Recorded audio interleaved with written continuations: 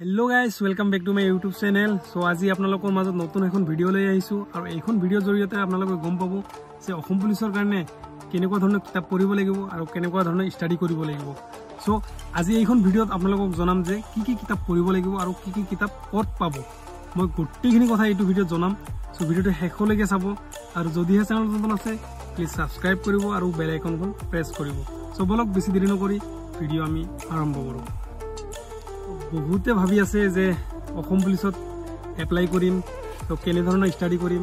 চ' আজি এইটো ভিডিঅ'ত আপোনালোকক জনোৱা হ'ব যে কেনেকুৱা ধৰণৰ ষ্টাডি কৰিব লাগিব আৰু কেনেকুৱা ধৰণৰ কিতাপ কিনিব লাগিব।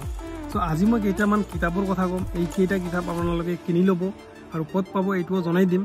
আৰু দুই নম্বৰ কথা হ'ল এক একদম মেইন কথা টেলিগ্ৰাম যদি নাই টেলিগ্ৰাম ইনষ্টল কৰি ল'ব আৰু টেলিগ্ৰামত ভাল ভাল অসম পুলিচৰ গ্ৰুপ আছে তাতে জইন হৈ ল'ব। আৰু জইন হোৱাৰ পিছত তাতে ভাল ভাল কুৱেশ্যন আহিব এইখিনিৰ এনচাৰ দি থাকিব আপোনালোকৰ নিশ্চয় সহায় হ'ব।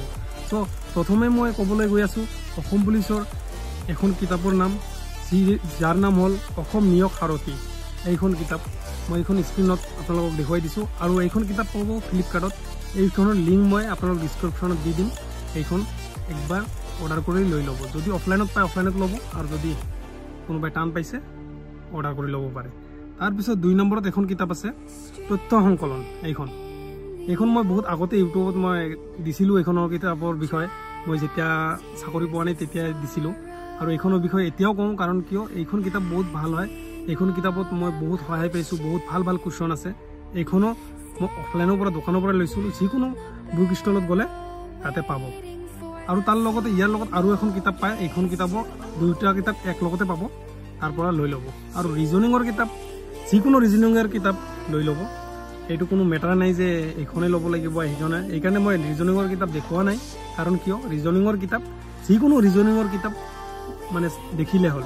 ৰিজনিং একেই হয়। মানে ফৰ্মুলাখিনি একেই হয়। যিকোনো কিতাপ পঢ়িলে হ'ল। হিন্দী হওক বা এছামিছ হওক ৰিজনিঙৰ ফৰ্মুলা একেই আৰু মেথছটো জানে। অসম পুলিচত ইমান হাৰ্ড মেথছ মেথছ নাহে। মেথছত নৰ্মেল মেথছ ৰিজনিঙৰ নিচিনা মেথছখিনি চাই যাব আৰু গ্ৰামাৰখিনি। গ্ৰামাৰখিনিৰ কাৰণে নিশ্চয় আপোনালোকে গ্ৰামাৰ জানে গ্ৰামাৰ ভালকৈ চাব। আৰু বিশেষকৈ অসম পুলিচত এটাই দৰকাৰ বেছি জেনেৰেল নলেজ একদম জেনেৰেল নলেজ ইমানে পঢ়িব ইমানে পঢ়িব যাতে অসমত এনেকুৱা এটা কুৱেশ্যন নাই যে নজনা। গোটেইখিনি কৰি যাব আৰু টেলিগ্ৰামত কৈছোঁৱে মই টেলিগ্ৰামত জইন হৈ ল'ব টেলিগ্ৰামত ভাল ভাল মানে গ্ৰুপ আছে। আৰু ইউটিউবতো চাৰ্চ কৰি চাব পাৰে। ভাল ভাল আজিকালি ইউটিউব চেনেল ওলাইছে। ৰিজনিঙৰ মেথছৰ জেনেৰেল নলেজৰ ভাল ভাল চেনেল ওলাইছে তাতেও চাব পাৰে। যদিহে অসম পুলিচত ভৰ্তি হ'ম বুলি ভাবিছে এতিয়াৰ পৰা ষ্টাডি কৰক। যেনেকুৱা ফিজিকেলৰ কাৰণে কষ্ট কৰে তাতকৈ বেছি পঢ়াত কষ্ট কৰিব কাৰণ কম্পিটিশ্যন বহুত বেছি হৈ গৈ আছে দিনক দিনে। এইবাৰ ভেকেঞ্চি হায়েষ্ট চাৰি পাঁচ হাজাৰ ওলাব অল অসমত। চ' তাৰ কাৰণে কিমান ষ্টাডি কৰিব লাগিব আৰু কিমান ফিজিকেলি মানে কষ্ট কৰিব লাগিব চ' এইটো আপোনালোকে নিশ্চয় গমেই পাইছে। যিবিলাক ফেইল কৰিছে যোৱাবাৰ সেইবিলাকে গম পায় কিমান কষ্ট। চ' এইকাৰণে এতিয়াৰে পৰা ভালকৈ কষ্ট কৰক। চ' এইখিনি আছিল এইটো ভিডিঅ'ত। আৰু নেক্সট ভিডিঅ' মই আৰু আপোনালোকৰ কাৰণে লৈ আহিম। চ' জয় হিন্দ জয় আই অসম।